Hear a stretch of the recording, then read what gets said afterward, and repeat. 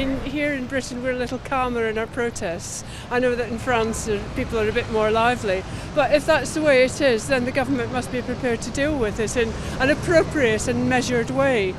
But it's certainly sometimes you just have to protest like that to get get your your things said. No, I think uh, they've got to accept that taxes have to go up to fight climate change.